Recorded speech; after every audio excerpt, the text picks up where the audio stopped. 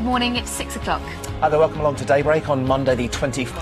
Thanks, Steve. Well, after highs of 20 degrees yesterday, the weather flips again today. Strong gusty winds, heavy, significant rain through the south and the west. I've got all the details in just a little while. I'm sorry, Dan, I've got to agree this time with the front of the Express. Yes, there's going to be a month worth of rain in just 24 hours, maybe less than 24 hours through parts of the southwest. Strong gusty winds to boot. It's all change. I've got the full forecast for you now. Well, after highs of 20 degrees across some parts of the south yesterday, it's all changed today. Strong gusty winds, significantly heavy, persistent rain plaguing much of the west. Already this morning, the rain extending through the west country, Wales, into western fringes of Scotland. Otherwise, a drier start, and with the cloud cover, a milder start as well. Uh, we're going to see the heaviest rain through the likes of Western Devon, parts of Cornwall and Pembrokeshire. These zones could see up to 80 millimetres of rain in just around about 12 hours. Around 100 millimetres of rain in a very short space of time. That's nearly four inches of water falling on the ground. And in these zones, we could see a risk of localised flooding. Rivers could top uh, bankfull stage to burst their banks. And with all the debris and the leaves um, from the autumn trees, uh, lots of surface water and spray on the roads with blocked drains and that sort of thing. So we're going to see very wet conditions through the southwest today. Strong gusty winds for all of us. Either side of this rain band, drier conditions, brighter skies, some lovely spells of sunshine, particularly across central and eastern spots, I think. The best of the brighter skies likely through the south east and East Anglia. Through the west, it stays wet throughout the day, the rain moving its way back into parts of Northern Ireland, and it will be a very, very wet day across the southwest, as I mentioned.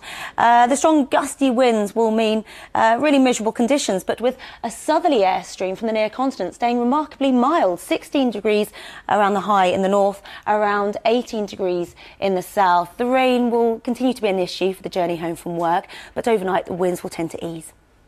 Thanks, Steve. It's all change as we head into half term week. Strong gusty winds and outbreaks of rain into the west. In fact, some parts of the southwest could get a month's worth of rain in less than half a day. Uh, the full forecast in the next half hour. Yes, sort of pinky tones in the sky this morning. Red sky in the morning. What does that mean? Shepherd's warning. Yes, not looking good at all today. Strong gusty winds for all of us as we roll into a new week, into half term as well. Very gusty winds for the west initially. Uh, here, touching gale force for a time today.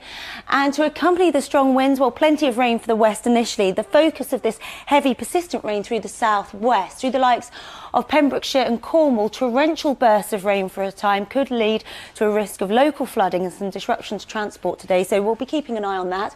Either side of this system, plenty of cloud, staying mostly dry, and the cloud keeping temperatures up this morning, so it is mild to start the new day. But really, that heavy, persistent rain will be a feature through the west all day, particularly through Cornwall, uh, parts of Devon, into the southwest of Wales. And here, lots of surface water and spray on the roads, giving some dreadful conditions if you're having to travel.